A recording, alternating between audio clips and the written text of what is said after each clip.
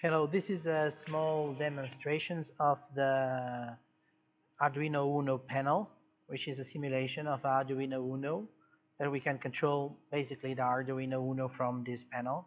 I'm connected to Arduino Uno with all these components attached, a sensor, a temperature sensor, uh, interface uh, through the um, I2C uh, uh, bus, um, brushless DC motor, uh, and the Arduino Uno. I designed an interface to communicate with Uno, install my own Arduino support package, and I'm communicating with the server.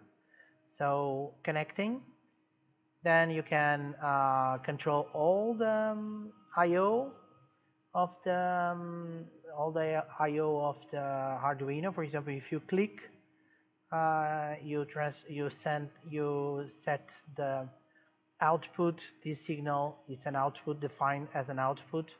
Um, you set to one, or you can set to zero again. Uh, the same happens with all of them. You can configure um, a signal to be an output, an input. For example, if you click here, you're changing this to be an output.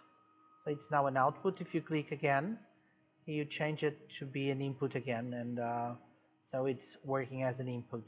You get the message messages here of what the Arduino is doing. For example, I have here a TMP 102 sensor, temperature sensor, interface with uh, I2C. So I can read um, the maximum and minimum value of, of, temperatures, do a single read, do a cycle read with this uh, frequency. So you see the readings here. You can stop reading. You can control the motor. For example, you can send messages to Arduino, for example, to read a single temperature, something like this, send to Arduino, and you get the, and you get the message here. You can control everything on the Arduino. You can reset the board, you can change the board. Everything can be the same thing that you can program in the Arduino directly, you can program here. I just made two examples, one with a uh, temperature sensor and another one with a brushless DC motor to control velocity. Hope, to, hope that we enjoy, you enjoyed it and that you find this very uh, find this useful. Thank you.